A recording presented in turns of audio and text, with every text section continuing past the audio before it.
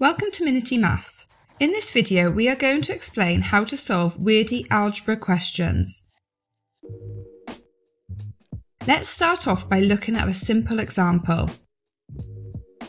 Have a think how you would solve this problem.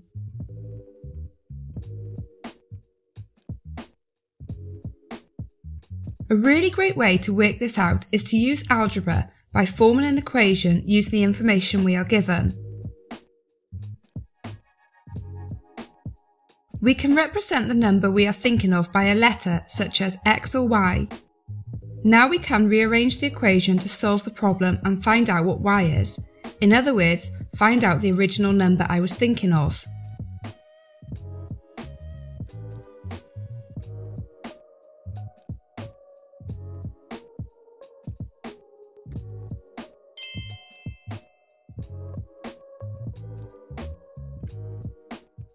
Can you use algebra to solve this next problem?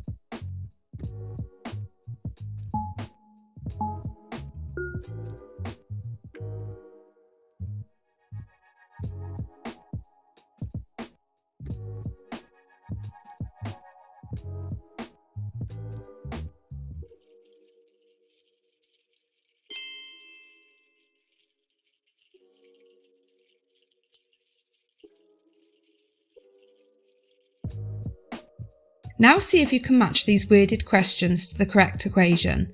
Pause the video while you match them up.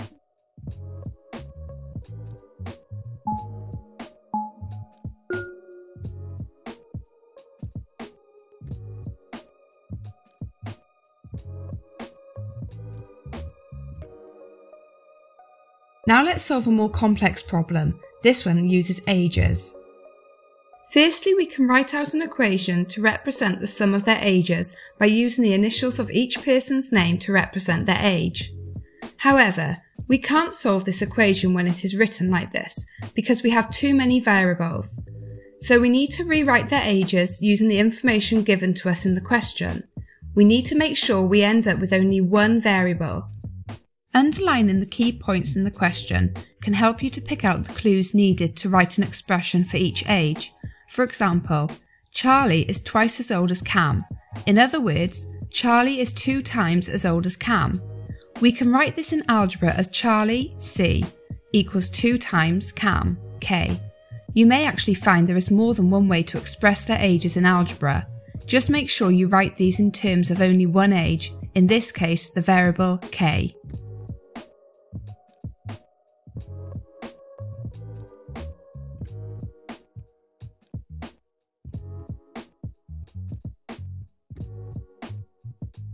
Now let's substitute these new expressions into our original equation. As you can see, we now only have one variable to work with rather than three. This means we can actually solve the equation to find out k, in other words, Cam's age. Once we know Cam's age, we can use it to work out the rest. Rearrange the equation to collect all the k variables together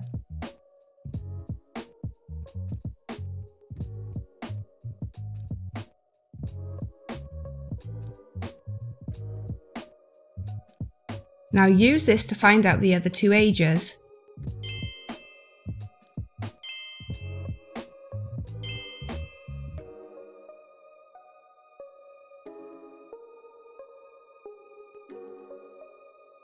Now have a go at this next question yourself. Pause the video while you work it out.